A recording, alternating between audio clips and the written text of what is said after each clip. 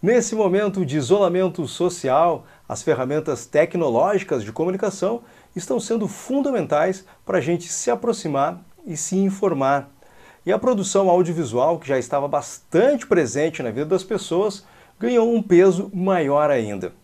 E a Casa Átomo Filmes, aqui de Porto Alegre, está aproveitando o momento para discutir a função do audiovisual agora e no futuro, com a campanha O Vídeo Aproxima e a mostra online Quarantine Tales.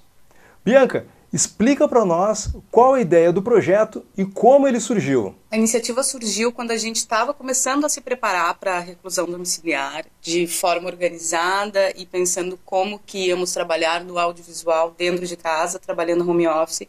E foi uma conversa com os diretores, o Tom Silveira e o Vinícius Gonçalves, sobre, sobre o posicionamento do audiovisual, porque a produtora sempre tenta se posicionar de uma forma onde o audiovisual pode colaborar. A ideia foi lançar uma campanha que se chama O Vídeo Aproxima, que questiona o papel do audiovisual nesse momento. Uma das iniciativas da campanha O Vídeo Aproxima é o Quarantine Tales, que são 14 diretores convidados para produzir 14 mini-docs. Então, esses documentários estão indo ao ar na IGTV da Casatomo Filmes e também no canal do YouTube. Nós estávamos lado a lado mas não estávamos próximos. Bianca, e como são as produções que estão nessa mostra Quarantine Tales?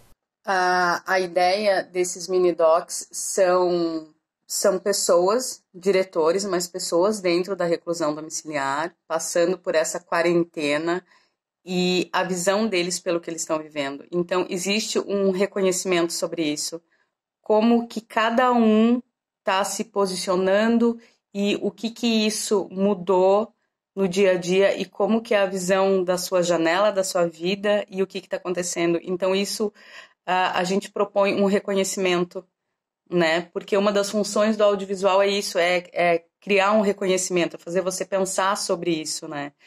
E pensar como que será a partir de agora. Sentíamos saudades, mas deixávamos para depois. Podíamos falar bem de pertinho mas não pensávamos nas palavras. E agora que não encontramos mais nossos amigos, que mantemos a distância mínima, estamos nos sentindo sozinhos.